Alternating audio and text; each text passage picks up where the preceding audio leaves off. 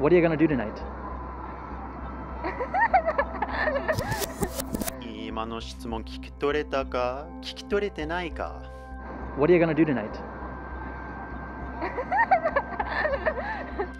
どうもどうもどうも。LNR English のカイと申しますね。で、今の質問ね、100%ピュアな日常的な英語でしたね。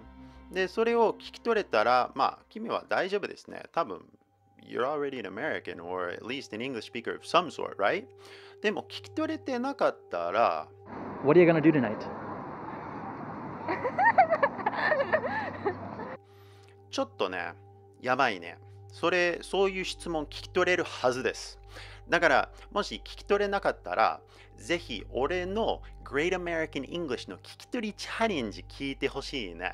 で、この聞き取りチャレンジの中で3つのステージありますね。まず、Eleanor。そう、有名な Eleanor のあの聞き取りチャレンジですね。で、ステージ2はアメリカン英語の母音の聞き取りチャレンジですね。で、ステージ3ね、アメリカンアクセントのフレーズの聞き取りチャレンジがありますね。すべてちゃんと聞き取れたら、まあ、君はね、リスニングは全然大丈夫じゃないですか。ね。でも、もしかして、どっかで間違ったら聞き取れなかったらね、ちょっとそれを勉強した方がいいんですね。だから、こう、Hey, what are you gonna do tomorrow? って言われたら、ああ、早いですね。じゃあ、その長い文章をちょっとポーズして、その細かい部分ね、どこ聞き取れてないかを確認しましょうね。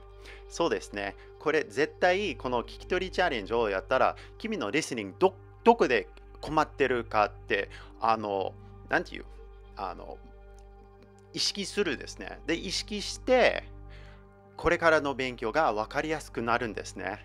What are you gonna do tonight?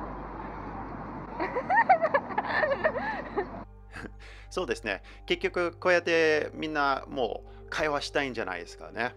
でも、本当にその自然な英語聞き取れてなかったらね、もうそっからスタートですね。